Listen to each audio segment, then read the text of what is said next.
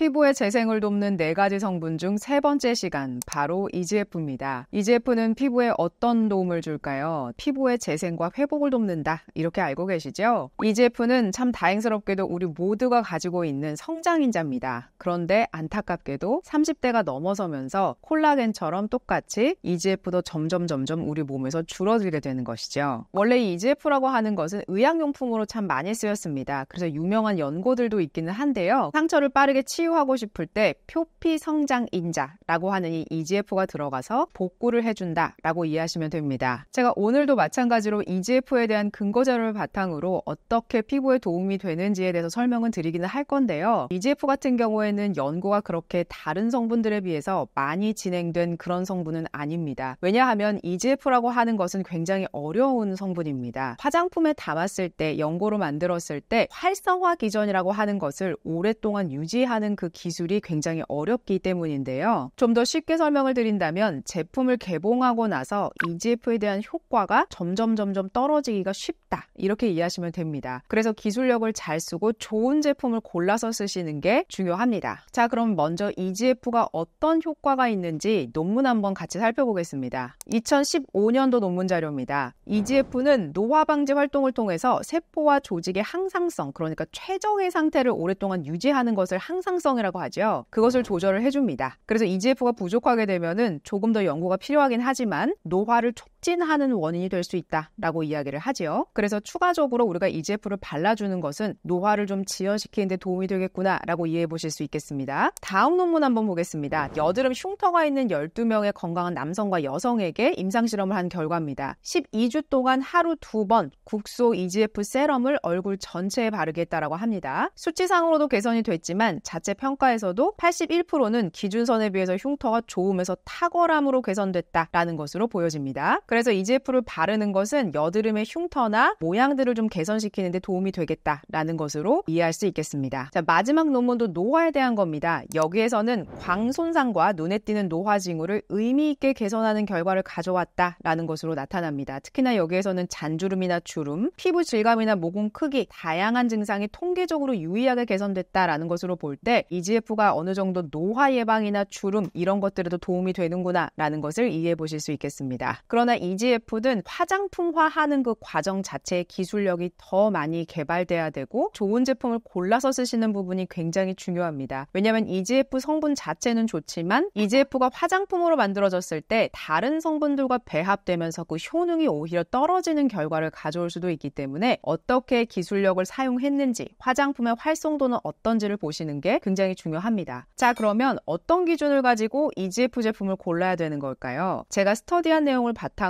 네 가지를 기준으로 한번 나눠봤습니다. 이건 어디까지나 저의 생각이고 제가 스스로 스터디한 내용을 바탕으로 정리해드리는 것이기 때문에 결과적으로 제품을 구매하시기 전에는 상세 페이지와 각각의 브랜드에게 직접 문의해 보시는 게 가장 좋겠습니다. 첫 번째는 EGF의 활성도를 보시는 게 중요합니다. 이 말이 무슨 말이냐면 EGF라는 성분을 화장품에 담았을 때 개봉하고 나서도 계속 활성인 상태로 피부 위에서 잘 작용해서 그 역할을 잘 할 수 있게끔 만들 었는가가 바로 EGF의 활성도를 본다라고 할 수가 있겠습니다. 처음에 제조했을 때 활성도가 되게 많이 살아있고 좋아도 개봉하고 났을 때 활성도가 뚝 떨어지는 경우가 있고 다른 성분들의 배합이나 방부제를 통해서 EGF의 활성이 확 떨어지는 경우도 많습니다. 그렇기 때문에 어떠한 기술력으로 EGF의 활성도를 잘 만들었는지 활성도에 대해서 충분히 자신감이 있는 것인지에 대해서 브랜드사에다 꼭 물어보시는 게 중요합니다. 특히나 EGF 같은 경우에는 빛이나 온도에 굉장히 민감 하기 때문에 보관 방법을 철저하게 명시해 놓은 그런 브랜드를 고르시는 것도 도움이 되겠습니다. 두 번째는 고순도인가를 보시는 게 중요해요. 고순도의 의미는 다른 불순물이 들어가지 않은 퓨어한 그 EGF 자체를 잘 담았는가를 보시는 게 중요한데요. 제가 여러 브랜드사에 문의를 해봤더니 94%만 넘어도 굉장히 고순도에 속한다라고 하시더라고요. 고순도 몇 퍼센트를 넣었다라는 것이 명시되어 있는 제품을 쓰신다면 아주 안전하겠구나라는 마음으로 EGF를 쓰실 수수 있겠습니다. 세 번째는 패키지인데요. 이거는 저의 개인적인 의견이 들어가 있는 거기도 합니다. EGF는 온도나 빛에 굉장히 민감하기 때문에 불투명 용기에 들어가 있는 것이 보다 더 안전합니다. 여름에 제품을 받으셨을 때 뭔가 아이스팩 같은 것들이 함께 곁들여져서 배송이 잘 되고 있는지 이런 것들도 보시는 게 중요합니다. 네 번째는 정성분이 너무 다양한 성분으로 배합되지 않은 것이 좀 더 낫겠습니다. 너무 많은 성분과 같이 배합이 됐을 경우에 EGF 효과 그 자체가 좀 떨어질 수도 있기 때문에 EGF 원료 특성상 단독일 때가 가장 활성도가 높다, 가장 효과가 좋다 이렇게 말씀드릴 수가 있겠는데요. 그래서 EGF 세럼을 바르게 되면은 촉촉하다, 두껍다, 충분하다 이런 느낌이 든다라기보다는 바르면 싹 사라지는 그런 느낌이 드는 경우가 훨씬 더 많습니다. 그게 원료의 배합이 너무 많이 되지 않았기 때문인데요. 그래서 전성분을 보시고 너무 다양한 게 들어갔다라고 하면은 EGF가 메인인 제품이다라기보다는 다른 성분이 주고 EGF가 좀 도움을 주는 성분으로 들어갔구나로 이해하시고 제품을 쓰시는 게 중요하겠습니다. 제가 오늘 보여드리는 EGF는 모두 다 세럼을 위주로 가져왔습니다. 왜냐하면 EGF 성분 자체가 흡수되는 것이 어렵고 가장 첫 단계에 쓰셔야 그 효과를 가장 잘 볼 수가 있기 때문에 크림에 들어간 것보다는 세럼 위주로 가지고 왔고 크림에 들어간 경우에는 아마도 EGF라는 성분이 보조적인 역할로 들어갔을 확률이 높아서 오늘은 EGF라는 것을 메인으로 하는 세럼으로 가져왔다는 점을 참고해 주시면 좋겠습니다. 첫 번째 제품은 에코팩토리입니다. 에코팩토리에는요, EGF와 4GF라는 제품 두 가지가 있습니다. 제가 둘 다 보여드릴 텐데요. 제가 에코팩토리를 고른 이유는 보관 방법을 굉장히 철저하게 공지하고 계시기 때문이에요. 자, 먼저 에코팩토리 EGF 리포좀 이 제품을 보면요, 이 안에는 10ppm의 EGF가 들어가 있습니다. 그리고 전성분을 봤더니 굉장히 단촐하죠. 많은 것이 들어가 있지 않습니다. 그리고 특이한 사항은 여기에는 방부제가 들어가 있지 않습니다. 그래서 브랜드사에서 도 강조하는 것이 개봉하고 났을 때 빨리 쓰는 게 중요하고 그리고 10ppm 자체가 너무 함량이 높기 때문에 얼굴에 바로 쓰시지 말고 다른 제품에 처음에는 섞어서 쓰세요 라고 말씀을 주셨어요. 그러나 저의 경우에는 30대 때 이미 EGF를 경험해 본 적이 있어서 10ppm을 바른다라고 할지라도 거부감이 있거나 이러진 않았습니다. 그러나 처음 EGF를 써본다 라고 할 때는 10ppm이 우리나라에서 배합할 수 있는 최고 농도이기 때문에 처음부터 바로 바르지 마시고 크림에다가 한두 방울 섞어 서 바르시는 게 중요하겠습니다. 특히나 이 제품은 스포이드 타입인데요. 방부제가 없기 때문에 피부 위에다가 닿게끔 해서 스포이드를 쓰시면 안 됩니다. 왜냐면 피부 위에 뭔가 이물질이 닿아서 제품과 섞이게 되면 방부제가 없으니까 금방 상하게 되고 EGF의 역할을 못하게 될 수가 있기 때문에 이 제품 같은 경우는 손 위에다가 덜어서 얼굴에다 바르시는 게 중요하겠습니다. 에코팩토리 같은 경우에는 10ml짜리 그러니까 작은 사이즈가 있거든요. 그래서 저의 방법은 아예 작은 사이즈를 구매해서 여러 번 그냥 구매해서 나눠서 쓰시는 게 낫다라는 게 저의 의견이고요. 왜냐면 개봉하고 났을 때 활성도가 떨어지기 시작하기 때문에 차라리 작은 사이즈를 쓰시는 게 좀 더 안전하다라고 말씀드릴 수 있겠습니다. 그 다음은 4GF라고 하는 건데요. 화장품을 좀 많이 아시는 분들은 이 4GF가 뭔지를 좀 아실 거예요. 왜냐하면 EGF 말고도 FGF, IGF, KGF라고 해서 그 나머지 것들도 다 우리가 갖고 있는 인자들 중에 하나입니다. 그런데 이 논문에서 보면요. 누가 표피 증식을 가장 잘하고 있나요? 바로 EGF입니다. 그래서 때때로는 이렇게 섞어서 쓰는 게 더 도움이 돼요. 이렇게 설명하시는 브랜드들도 있기는 한데요. 제가 찾아본 논문에는 네 가지를 함께 썼을 때 효과가 더 좋다라고 발표된 논문 결과가 없어서 제가 그 부분은 말씀드리는 게 좀 어렵다라는 생각이 들었고 그러나 이 논문에서는 EGF가 표피 증식에 있어서는 가장 뛰어났기 때문에 EGF 단독으로 바르셔도 되고 이렇게 4GF처럼 다 섞여져 있는 거를 바르셔도 어차피 나머지 인자들도 도움은 주기 때문에 괜찮겠구나라는 생각이 들었습니다. 그래서 오 히려 EGF를 처음 경험해 본다 라고 할 때는 이 4GF는 EGF 성분 자체가 1ppm이 들어가 있기 때문에 전 이 부분은 괜찮겠다라는 생각이 들었어요. 왜냐면 다 합쳐서 4ppm 정도만 들어가 있거든요. 그래서 피부가 가장 편안하게 받아들일 수 있는 그런 정도의 함량이기 때문에 이 정도는 바로 피부에 발라서 적응시키는 것도 좋겠다라는 생각이 들었습니다. 그래서 4GF와 EGF 두 가지를 비교를 한다면 사용감에 있어서 뭔가 드라마틱하게 뭐가 더 다르다 이런 느낌은 들지는 않고요. 바르고 났을 때 조금 조금 지나면 싹 스며들어가 있는 그런 느낌이 듭니다. 요것도 좀 비타민C와 비슷한 게 다음 세럼의 다양한 성분들이 합쳐져서 EGF의 활성을 좀 방해할 수도 있기 때문에 EGF가 충분히 흡수되고 발라졌다라는 생각이 들면 한 2, 3분쯤 후에 다음 단계를 발라주시는 게 저는 조금 더 도움이 되지 않을까라는 의견을 드리고 싶습니다. 다음 제품은 수플로우입니다. 제가 오늘 들고 나온 제품 중에 가장 저렴한 제품이기도 합니다. 실제로 지금 사이트에서는 12,000원에 판매되고 있기도 한데요.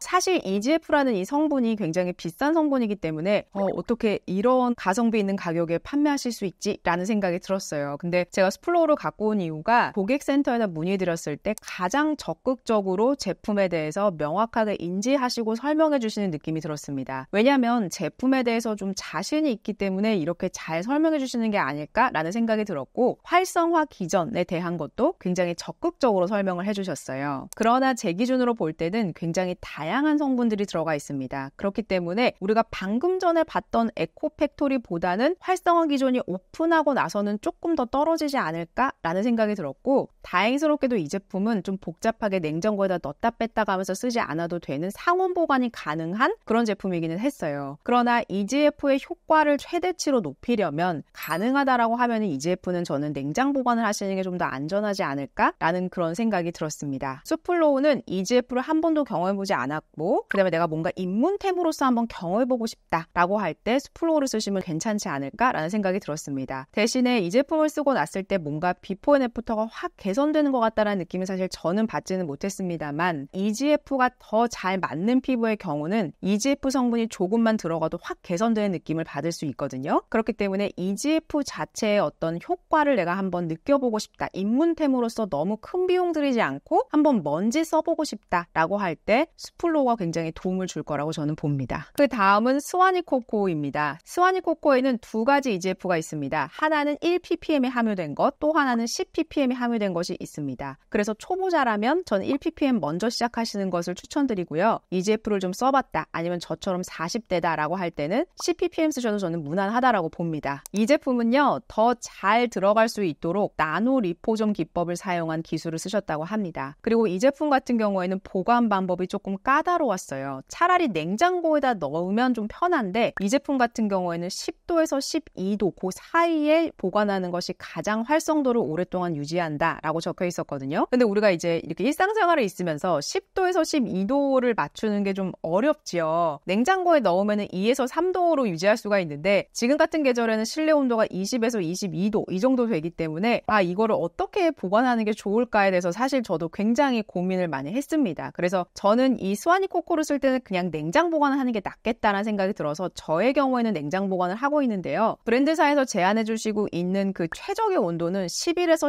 15도 그 사이이기 때문에 그거를 잘 유지할 수 있는 환경이 되신다면 그러니까 뭐 화장품 냉장고 이런 거 쓰시는 분들은 거기 안에다가 보관해서 쓰시면 좀 활성도를 오랫동안 유지하면서 쓰실 수 있겠다라는 생각이 들었습니다. 제가 지금까지 보여드린 제품 중에서는 스와니 코코가 가장 촉촉하다라는 느낌이 들었습니다. 대신에 흡수도는 약간 느리긴 하지만 좀 기다려주면 잘 흡수되는 그런 제형이에요. 어차피 EGF를 담은 그런 세럼은 무거울 수가 없기 때문에 아주 촉촉하다라는 느낌을 기대하실 수는 없겠지만 그래도 다른 제품처럼 바르면 싹 없어지는 그런 느낌이라기보다는 그래도 좀 촉촉한 편에 속한다 이렇게 볼 수 있겠습니다. 다음 제품은 EGF 올로지입니다. EGF 올로지에는 두 가지 제품이 있습니다. 하나는 5mm짜리 세럼이고요. 하나는 30mm짜리 리제너레이팅 세럼입니다. 하나는 굉장히 사이즈가 작죠. 이 제품 같은 경우에는 한 번 개봉하면은 7일 이내 써주시는 게 굉장히 중요합니다. EGF 올로지 고객센터에서 설명을 해주신 바로는 상온에서도 EGF가 잘 활성화될 수 있도록 하는 기술력을 담았고 그래서 상온에서 보관하셔도 괜찮지만 이 앰플 같은 경우에는 방부제가 전혀 들어가 있지 않대요. 그렇기 때문에 냉장 보관하시는 것을 권고합니다. 라고 말씀을 주셨어요. 저의 경우에는 이 앰플을 쓸 때 항상 냉장 보관을 했고 그래서 저는 7일 이상 써도 별 문제는 없었으나 사실상 이 제품을 충분히 덜어서 쓴다라고 하면은 5일 만에 이 앰플은 다 쓸 수 있는 그런 용량입니다. 뭔가 피부과 시술이나 아니면 피부가 완전히 뒤집어졌다라고 할 때 이 앰플 하나를 내가 5일 만에 싹 쓰고 어떻게 변화되는지 봐야지라고 할 때 짧게 쓰고 빠지는 고러한 느낌으로 이 앰플을 쓰시는 게 전 도움이 되겠다라는 생각이 들었습니다. EGF 올로지에서 좀 특이하다라고 봤던 것이 주름 개선 기능성과 미백 기능성을 EGF 성분 자체로 받았어요. 원래 우리가 화장품에 보면 주름 개선 기능성, 미백 기능성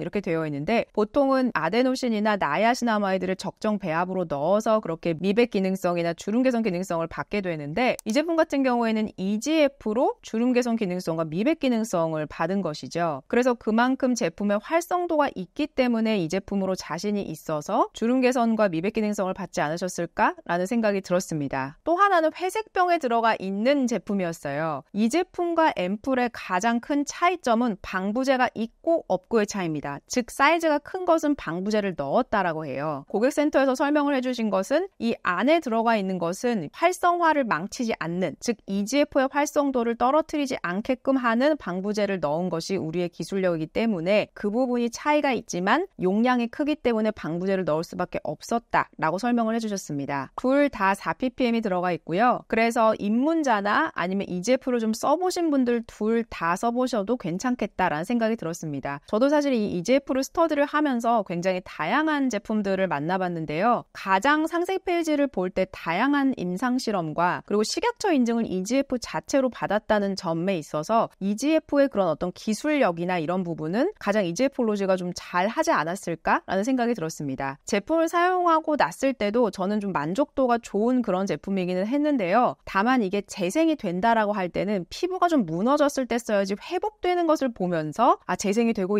있다라는 것을 느끼는 것이지 피부가 항시 좋을 때는 이런 제품을 써도 확확 좋아지는 게 느껴지지는 않기 때문에 피부가 좀 무너졌을 때 아니면 좀 칙칙해 보일 때 이렇게 활성도가 좀 있는 활성도를 오랫동안 유지해주는 이러한 제품을 쓰시게 되면은 저는 조금 더 도움이 되지 않을까라는 생각이 들었습니다. 대신에 이 제품 올로지는 가격이 좀 비쌉니다. 그래서 앰플 5mm에 43,000원이어서 이거를 막 자주 daily로 쓰기는 어렵겠다라는 생각이 들었어요. 그래서 가끔 이제 피부가 무너졌거나 장벽이 좀 무너지고 피부가 좀 칙칙하고 이럴 때 가끔 이제 앰플을 한번 확 몰아서 쓰고 daily로 써보고 싶다라고 하면 이 세럼을 한번 써보셔도 저는 괜찮겠다라는 생각이 들었습니다. 자, 그럼 이러한 EGF 어떤 성분과 같이 쓰면 안 될까요? EGF는 산성 환경에서 굉장히 활성도가 떨어질 수 있습니다. 그렇기 때문에 순수 비타민 C와 같이 쓰시면 효과가 굉장히 떨어질 수 있습니다. 그리고 glycolic acid와 같은 AHA 성분과 함께 쓰셔도 이 효과가 많이 떨어질 수 있겠습니다. EGF는 꼭 처음에 단독으로 쓰시고 그 다음에 다음 term을 조금 2, 3분 정도 뒀다가 순수 비타민 C가 아닌 것을 다음으로 발라서 관리하시는 게 중요하겠습니다. 아, 오늘은 이렇게 어려운 EGF를 한번 알아봤습니다. 사실 제가 이 EGF를 작년부터 스터디를 했었어요. 근데 스터디를 하면 할수록 정말 어려운 성분이고 잘 만든 제품을 찾는 것이 어렵다라는 생각이 들었습니다. 그러나 EGF가 잘 맞는 피부의 경우는 EGF를 만났을 때 훨씬 더 잘 회복되고 상처 치유도 훨씬 더잘 될 수 있거든요. 그래서 재생 성분은 굉장히 여러 가지이고 많지만 나에게 꼭 맞는 성분이 뭔지를 찾으셔서 피부를 관리하시는 게 건강하고 예쁜 피부를 만드는 아주 중요한 포인트가 된다라고 저는 생각이 듭니다. 오늘도 도움이 되셨다면 구독과 좋아요, 알림 설정까지 부탁드릴게요. 고맙습니다.